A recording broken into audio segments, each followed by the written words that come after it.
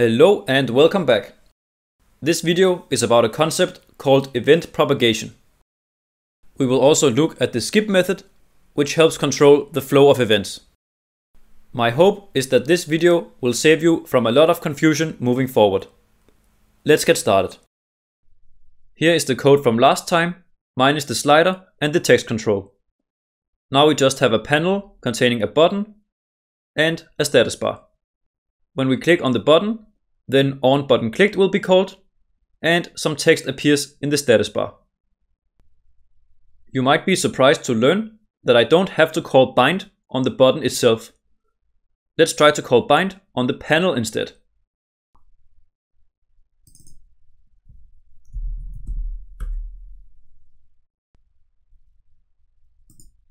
As you can see, it still works. I can also call bind on mainframe itself.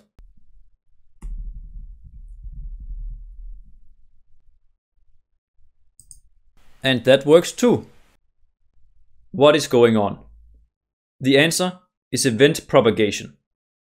As we have previously talked about, there is a parent-child relationship here. Our button is a child of the panel, which is a child of mainframe. All WX command events, and only those, propagate up this hierarchy until they are handled.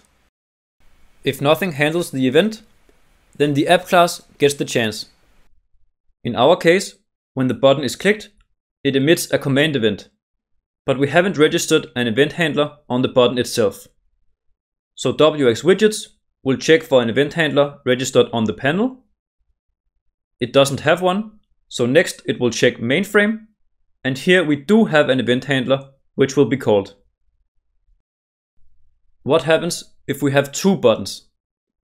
Let's rename the button we already have to button 1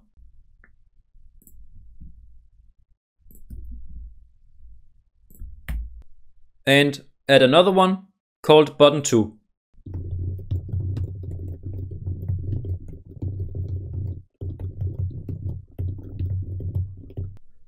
I will also change on button clicked so it displays a message in a box instead of in the status bar.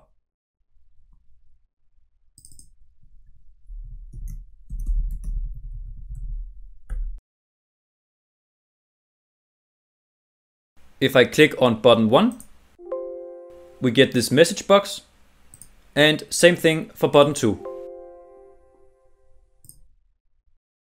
On button clicked is called when either button is clicked.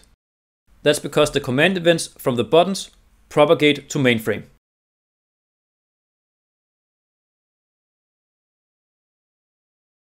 This could be useful if, say, you want to play a sound when any button is clicked.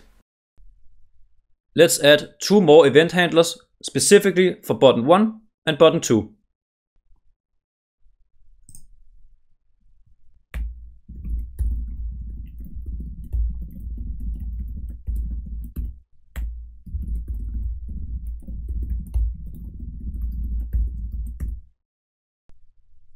I'm also going to rename this one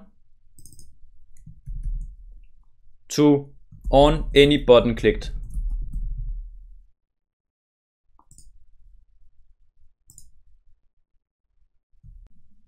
Back in the implementation file, we will implement the two new methods.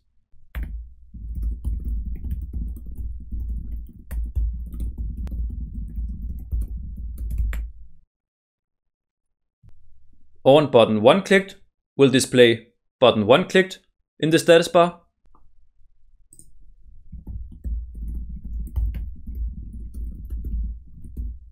And on button 2 clicked will display button 2 clicked.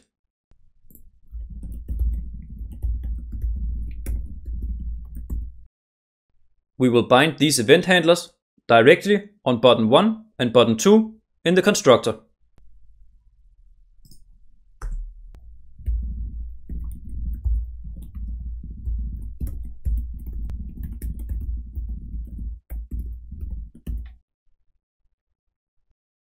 Now what will happen when I click on a button?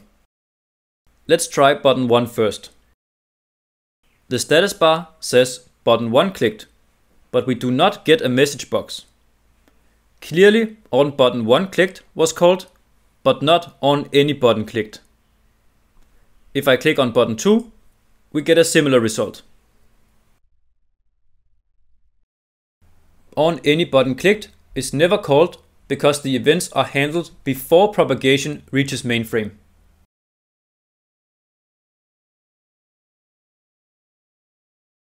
If we don't want the propagation to stop, we must call the event's skip method.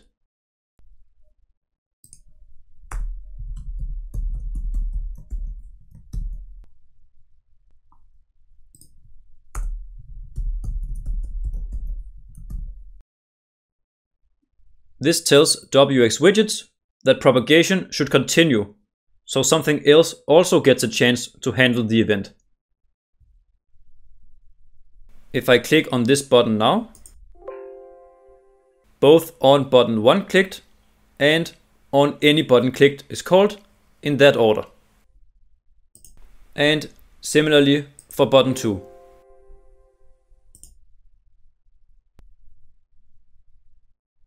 The skip method actually has one more important application. Let's try to handle the WX EVT close window event, which is emitted by WX frame when it is closed. First, we need to declare an event handler.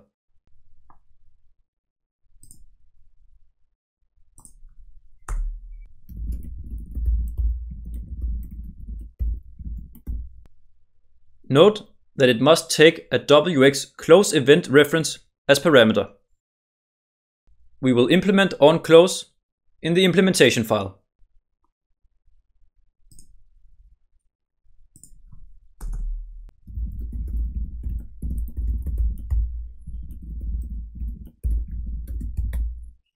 It should simply display frame closed in a message box.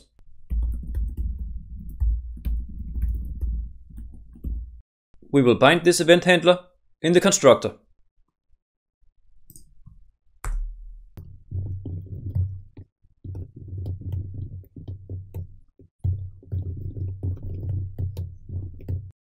Note that I have called bind directly on the mainframe and for the event tag I have used wxevt close window.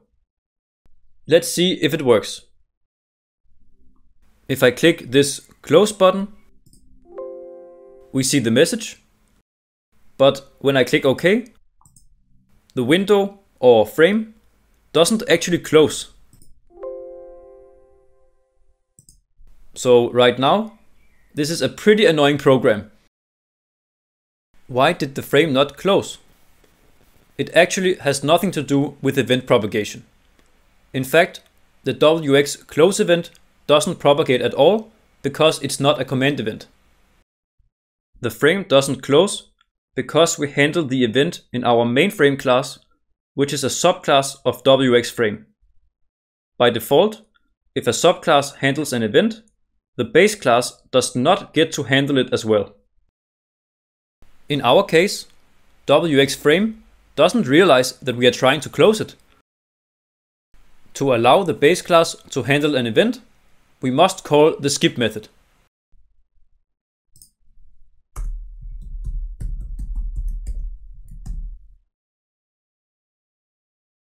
If I try to close the frame now, we see the message. And if I click OK, the frame closes. Perfect. I hope you enjoyed this little demo about event propagation and the skip method.